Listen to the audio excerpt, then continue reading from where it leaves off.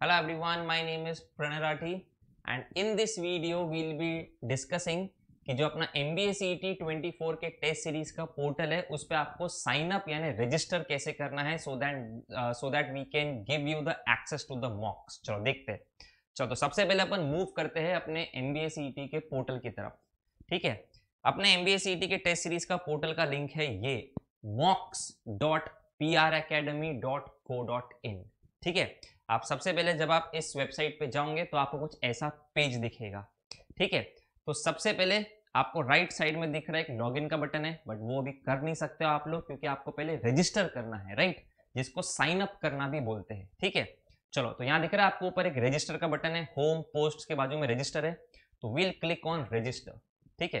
तो जब अपन रजिस्टर पे क्लिक करेंगे, आपका एक ऐसा रजिस्ट्रेशन का पेज ओपन होगा, मैं इसको जूम कर लेता हूँ सो दैट आपको क्लियरली दिखे।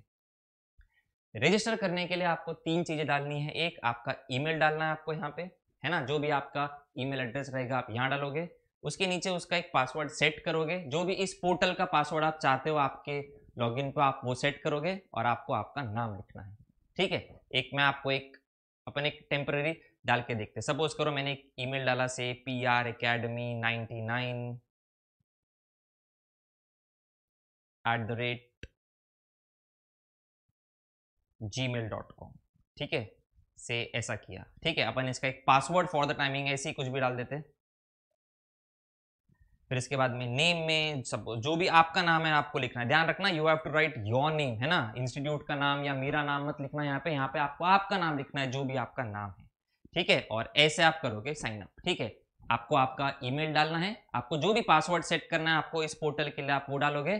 और आप नेम लिखोगे, ठीक है? और फिर उसके बाद क्लिक करोगे ऑन रजिस्टर ध्यान रखना नेम आपको आपका लिखना है, मेरा या इंस्टीट्यूट का नेम नहीं, आपका नाम लिखना है।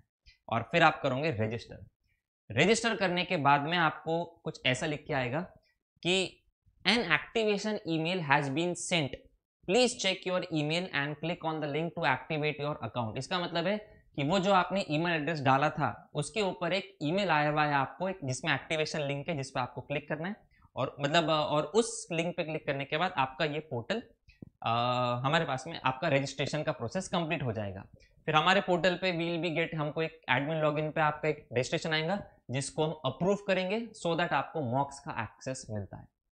ऐसा है रजिस्ट्रेशन का प्रोसेस पूरा कंप्लीटली गॉट इट आए ध्यान। So this is the portal for R M B की जो टेस्ट सीरीज़ है है ना? मैं एक बार फिर से बता दूँ, ध्यान रखना।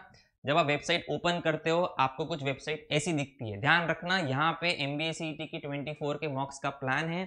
I request all my current M B entrance students please do not buy this course क्योंकि ये कोर्स आपको क्लास के साइड से ही है। आपके प्लान में ऑलरेडी इंक्लूडेड है ये। Please do not buy this course this यहाँ पे जो ये डिस्प्ले पे that is for other students who just want only the test series plan तो please I request all my current year M B entrance students please do not buy this course as this course is to you from classes side only already included in your plan correct MBA C D के test series में अपने पास में 20 full marks और 20 sectional test है।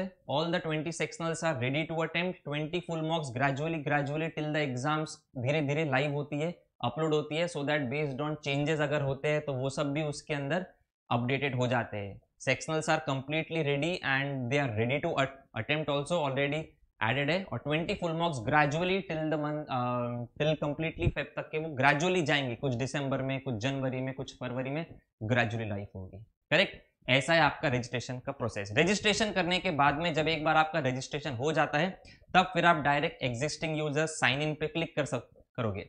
और जब आपका साइन इन होगा तब आपको आपका ईमेल डालना है और जो भी पासवर्ड आपने सेट किया था वो डाल के log in and then you have entered a portal correct फिर से एक इंपॉर्टेंट पॉइंट रिपीट करता हूँ मैं। जब आपका रजिस्ट्रेशन का प्रोसेस हो जाता है तो इमीडिएटली आप लॉगिन नहीं कर सकते हो। जैसा मैंने आपको बताया कि रजिस्ट्रेशन हो जाने के बाद में, हमारे पास में एडमिन लॉगिन पे वो अप्रूवल के लिए आता है कि the following student has approve has registered do you want to approve approve it and give the course access तब जाके हम उसको यस yes करेंगे।